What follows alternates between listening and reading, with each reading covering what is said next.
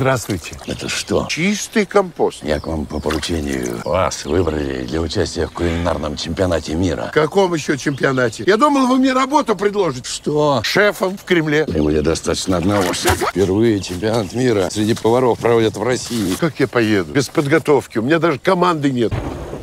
Шеф, а что происходит? Скажите им, что я не брал эту икру с министерского банкета. Шеф, меня похитили. А это кто? Я Максим Лавров. Ну, по-моему, тут какая-то ошибка. Я могу хотя бы подумать. Если согласны, можете.